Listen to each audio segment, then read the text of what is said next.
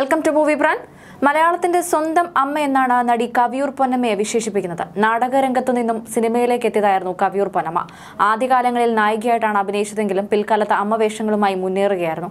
ഇപ്പോഴത്തെ നടിയെക്കുറിച്ച് മനസ്സ് തുറക്കുകയാണ് തിരക്കഥാകൃത്ത് കല്ലൂർ ഡെന്നിസ്. ഒരു മാധ്യമത്തിൽ അദ്ദേഹം കവിയൂർ പൊന്നമ്മയെക്കുറിച്ച് മനസ്സ് തുറന്നത് ഇങ്ങനെയായിരുന്നു. ആറന്മുള പൊന്നമ്മയേക്കാൾ നല്ല അമ്മ വേഷങ്ങൾ ചെയ്ത് സവിശേഷമായ ഒരു അഭിനയശേഷി കൈമുതലായി ഉള്ളതുകൊണ്ടാകാം.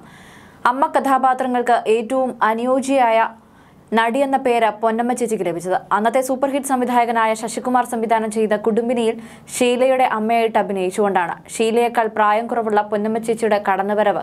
കുടുംബിനിയിലെ അഭിനയം ഏറെ ശ്രദ്ധിക്കപ്പെട്ടപ്പോൾ പിന്നെ നിർമ്മാതാക്കൾക്കും സംവിധായകർക്കൊപ്പം എല്ലാം പൊന്നമ്മ ചേച്ചിയുടെ അമ്മ വേഷത്തിനോടായി കൂടുതൽ താല്പര്യം. സത്യനും മധുവും നായകന്മാരായി അഭിനയിച്ച തൊമ്മന്റെ മക്കളിൽ അവരുടെ രണ്ടുപേരുടെയും അമ്മയായി പൊന്നമ്മ ചേച്ചി കടം നിറഞ്ഞാടിയെന്ന് കേട്ടപ്പോൾ അന്ന് ഞാൻ ശരിക്കും അത്ഭുതപ്പെട്ടു പോയിരുന്നു ആയിരത്തി തൊള്ളായിരത്തി എഴുപത്തി ഒന്നിൽ പുറത്തിറങ്ങിയ നദി എന്ന ചിത്രത്തിൽ തികൃഷിയുടെ ഭാര്യയായും പെരിയാറിൽ തിലകന്റെ അമ്മയായും ഒക്കെ അഭിനയിച്ച പൊന്നമ്മ ചേച്ചി പിന്നീട് തിലകന്റെ ഭാര്യയായും ഓടയിൽ നിന്നെന്ന ചിത്രത്തിൽ സത്യന്റെ നായികയുമായി ഒക്കെ വന്ന പ്രേക്ഷക മനസ്സുകളിൽ വിസ്മയം ജനിപ്പിച്ചു. സ്ത്രീ കഥാപാത്രങ്ങളിൽ ഇത്രയും വ്യത്യസ്തമായ വേഷപ്പകർച്ച നടത്തിയിട്ടുള്ള മറ്റൊരു അഭിനേത്രി മലയാളത്തിൽ വേറെ ഉണ്ടാകുമെന്ന് തോന്നുന്നില്ല.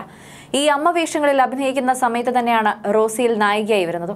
പിന്നീട് നായികയുടെ ചേച്ചിയും ചേട്ടത്തിയും അമ്മായിയും ഒക്കെയായി വന്നതിന് ശേഷമാണ് മലയാള സിനിമയിലെ സ്ഥിരം അമ്മ താരമായി പൊന്നമ്മ ചേച്ചി മാറുന്നത്. സഹപ്രവർത്തകരുമായി വളരെ ഹൃദ്യമായ സൗഹൃദ ബന്ധം പുലർത്തിയിരുന്ന പൊന്നമ്മ ചേച്ചിയെ കൂടുതൽ അടുപ്പമുള്ളവർ പൊന്നു എന്നാണ് വിളിച്ചിരുന്നത്. ആ പൊന്നുവിന് പി. എം. മേനോൻ സംവിധാനം ചെയ്ത റോസി എന്ന ചിത്രത്തിന്റെ നിർമ്മാതാവായ മണിസ്വാമി തന്റെ ജീവിതത്തിലെ പൊന്നിയായി കൂടെ കൂട്ടിയിരുന്നു. ആദ്യകാലം മുതലുള്ള എല്ലാ നായകന്മാരുടെയും അമ്മയായി അഭിനയിച്ചിട്ടുണ്ടെങ്കിലും മോഹൻലാലിന്റെ അമ്മയായിട്ടാണ് ഏറ്റവും കൂടുതൽ ചിത്രങ്ങളിൽ അവർ അഭിനയിച്ചിട്ടുള്ളത്. ഇപ്പോൾ പൊന്നമ്മ ചേച്ചിയുടെ സിനിമ സ്പര്യയ്ക്ക് നീണ്ട അറുപതാണ്ടിന്റെ കാലപ്പഴക്കമുണ്ടെങ്കിലും മലയാള സിനിമയിൽ എല്ലാം തികഞ്ഞ മുഖപ്രസാദമുള്ള ഐശ്വര്യവതിയായ ഒരമ്മയെടുത്തപ്പോൾ സംവിധായകനും നിർമ്മാതാക്കളും ഒക്കെ ആദ്യം പോകുന്നത് കവിയൂർ പൊന്നമ്മ ചേച്ചിയുടെ സാന്നിധ്യം തേടിയാണ്. ചെറിയ ശാരീരിക അസ്വാസ്ഥ്യങ്ങളൊക്കെ ഉള്ളതുകൊണ്ട് ഇപ്പോൾ അഭിനയത്തോട് അല്പം അകലം പാലിച്ചു നിൽക്കുകയാണ് അവർ. താൻ ഇതുവരെ ചെയ്യാത്ത വ്യത്യസ്തമായ ഒരു വേഷവുമായി ആരെങ്കിലും വന്നാൽ ഇനിയും ഒരു കൈ നോക്കാനും പൊന്നമ്മ ചേച്ചി തയ്യാറാണെന്നും അദ്ദേഹം പറയുന്നു.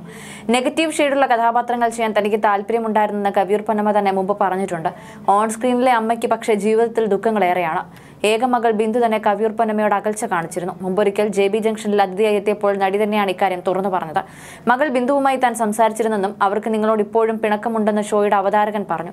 അതിന്റെ കാരണങ്ങളെക്കുറിച്ച് കവിയൂർ പൊന്നമ്മയും സംസാരിച്ചു. മകൾ അമേരിക്കയിൽ സെറ്റിൽഡാണ് എന്റെ രണ്ടാമത്തെ നാത്തുന്റെ മകൻ തന്നെയാണ് കല്യാണം കഴിച്ചത്. അവർക്ക് മകനും മകളുമുണ്ട്. സ്നേഹം കൊടുത്തില്ലെന്നാണ് മകളുടെ പരാതി. ഒപ്പമുണ്ടായിരുന്ന സമയത്ത് വളരെയധികം സ്നേഹിച്ചിരുന്നെന്നും നടി പറഞ്ഞു. എല്ലാവർക്കും ഭക്ഷണം കഴിക്കണമെങ്കിൽ ഞാൻ ജോലിക്ക് പോകണമായിരുന്നു. കുട്ടിയായിരുന്നപ്പോൾ അറിയില്ലെന്ന് വെക്കാം. മുതിർന്നപ്പോഴെങ്കിലും മനസ്സിലാക്കണമല്ലോ. ഭയങ്കര ശാഠ്യമായിരുന്നു ഉള്ള സമയത്ത് അതുപോലെ സ്നേഹം വാരിക്കോരി കൊടുത്തിട്ടുമുണ്ട്. ആ ശാഠ്യം ഇപ്പോഴുമുണ്ട് ആ പരിഭവം മാറില്ല. ദുഃഖമില്ല. നോക്കാൻ എനിക്ക് ചിലപ്പോൾ പറ്റിയിട്ടില്ല. അവൾ പറഞ്ഞതിലും കാര്യമുണ്ടെന്നായിരുന്നു അന്ന് നടി പ്രതികരിച്ചത്.